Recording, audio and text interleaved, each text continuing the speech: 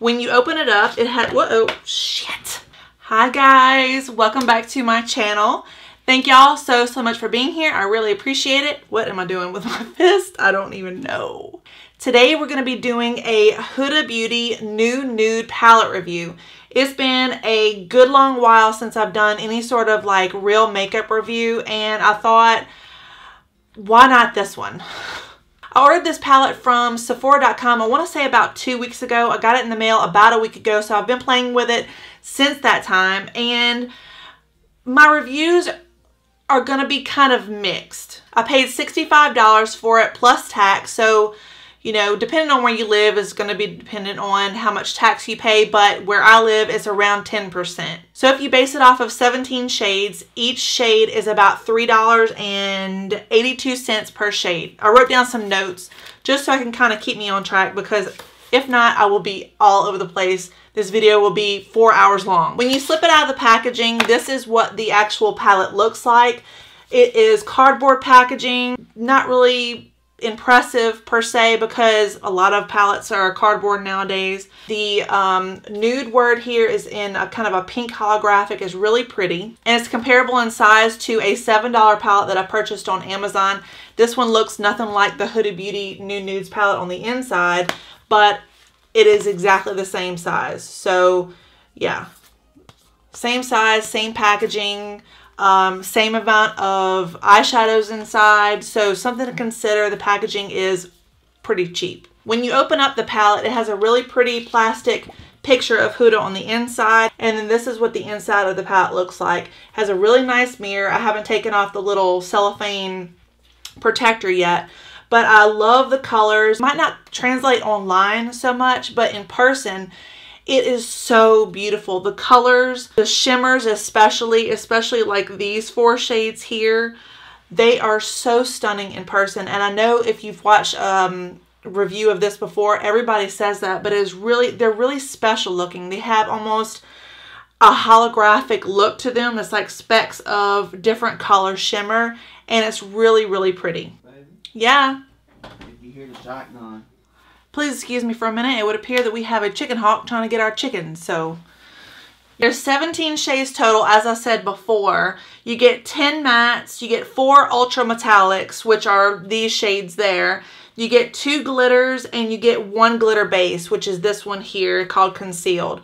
I wouldn't say that this really has a color to it. I mean, online it kind of looks like a color, but when you actually put it on your lid, it doesn't translate um, much of a shade. So I think any skin tone can use this shade. Overall, I love the color story of this palette. It's very flirty, very girly, very feminine. It's not something that you see very often. In fact, whenever I was trying to dupe these shades with, not, you could dupe the shades individually with other colors. I mean, that's just easy to do but to find a palette that's comparable to this, I wasn't able to actually find one. So that does make it somewhat unique on the market today. It also steers away from the kind of warm trends that we were seeing in 2016, 17, and 18. You know, the real orangey shades, warm shades, the brown tones. Sometimes it's good to kind of step away from what you've been doing for a long time and do something a little bit different. You know what I'm saying? I'm actually wearing this palette today and this is the third time that I've used the palette and I find these shades very easy to blend, very easy to work with. There is a ton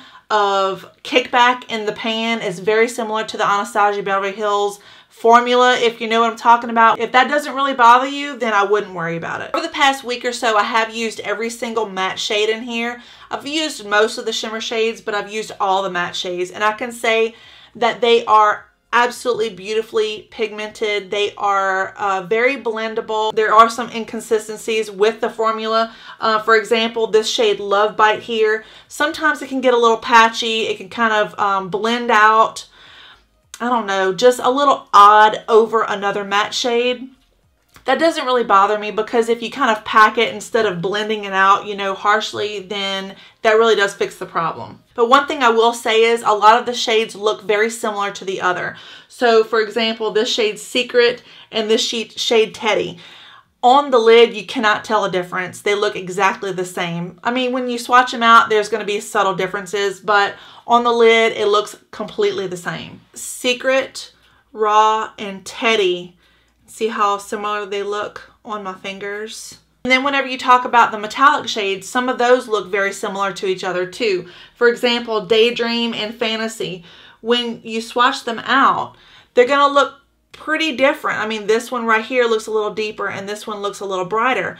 But on the lid, it looks very, very similar. It's almost too similar to warrant the value of this palette. And as beautiful as the ultra metallic shades are, when you're trying to put them on the lid, it is very tricky. Even with the, um, the glitter base here. When you apply them, even with a finger or a sponge tip applicator, which it says on the back to use, it just doesn't want to adhere to the lid. I'm wearing this palette today and I have to say I love the way it came out. It's just a really beautiful, functional palette. There are some quirks with it. It's not perfect. It's not a complete palette by any means.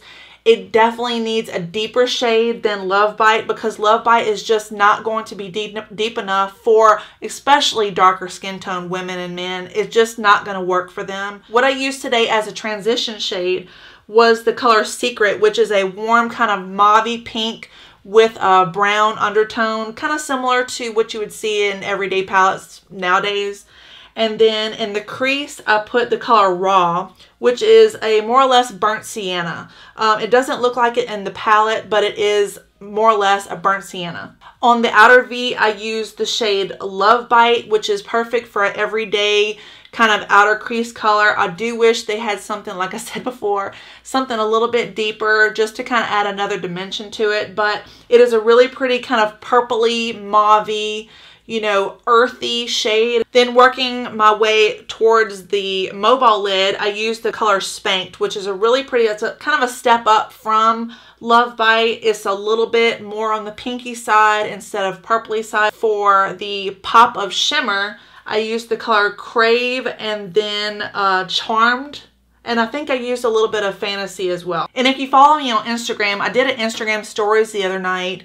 Um, and I basically said I didn't think the palette was worth it. I thought it was too much money for what you get and I'm kind of going to stand by that. And then another big hiccup is it's not made for darker skin tones. It's just not. I don't think that someone who is as dark or even a little bit lighter than, say, Jackie Aina, if you're familiar with her, I really don't think that she would get much use out of this palette. On lighter skin tones and medium skin tones, I actually think it would be really pretty. I mean, overall, I would say the palette is really beautiful. Uh, it's functional. It does what it's supposed to do but it also has hiccups. So proceed with caution. So I hope y'all are having a fantastic day wherever you are in the world. And please come back and see my next video. It should be up in the next few days. I'm going to try to do two this week. And I was thinking about doing a 50 facts about me. Um, let me know if y'all would be interested in something like that.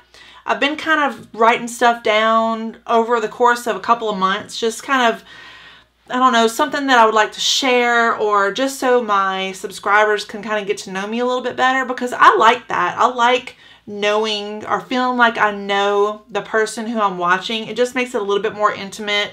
Um, people are like onions. Everybody's got differences. Everybody's got opinions. And I like to know things like that. So let me know if that's something you would like to see. I'll see y'all soon. Bye.